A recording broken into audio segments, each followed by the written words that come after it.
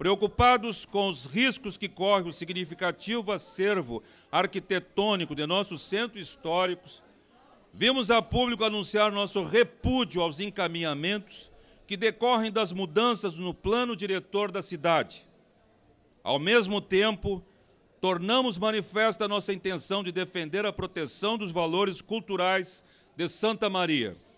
Uma cidade que não tem reconhecimento, que não consegue olhar para dentro de si, enxergar elementos característicos que pertencem à sua história, não tem como projetar o futuro. O que está acontecendo aqui é o embrião de um movimento de defesa de um patrimônio e de colocar um outro lugar de fala em Santa Maria. Até agora, eh, a Câmara de Vereadores deu ouvido apenas a um setor da sociedade.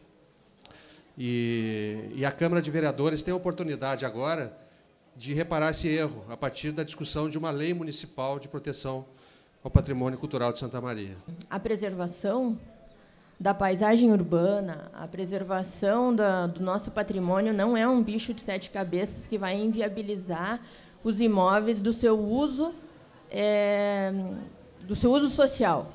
A função social do, do imóvel ela deve ser é, buscada, deve ser preservada. Isso é, uma, é um chamamento que eu faço para todos os nossos colegas. É um grande acervo pela cidade, uh, trazendo a ideia de modernidade, a ideia de que Santa Maria estava uh, na mesma época em que Miami, em que uh, todas, o mundo estava vivendo Art Deco, aqui também.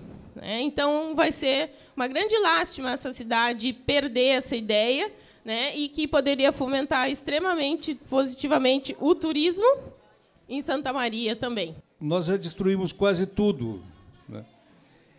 Se nós não estancarmos essa sangria agora, com convicção plena que estaremos assegurando um passado, o, o, o futuro, nós estaremos desperdiçando uma chance que talvez não, tenha, talvez não tenhamos outra.